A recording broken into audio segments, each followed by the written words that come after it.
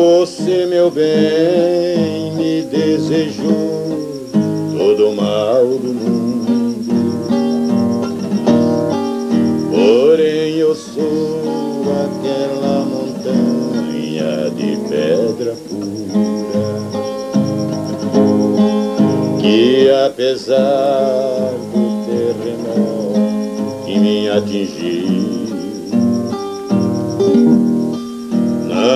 abalou nem um pouquinho minha estrutura.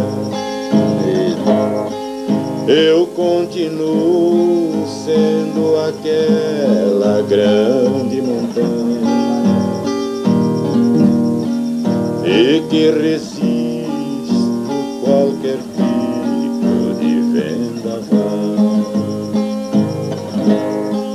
Meu coração reduto das andorinhas. Também abrigo as garças brancas do Pantanal. Que beleza, Dilema. Mulher amada, que te dou último conselho. Não adianta você ficar cheia de artimanhas,